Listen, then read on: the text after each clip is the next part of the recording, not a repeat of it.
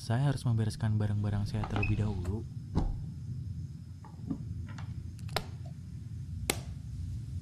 Nah, saya sudah menuliskan segala keperluan untuk menjual rumah ini.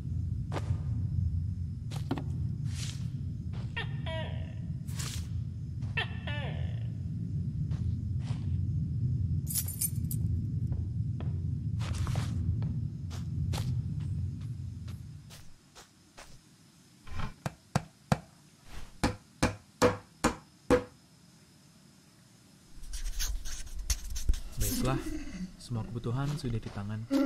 Ah, akhirnya, saya bisa menjual rumah ini dan bisa punya uang lagi. Besok baru akan saya mulai nih membereskan rumahnya.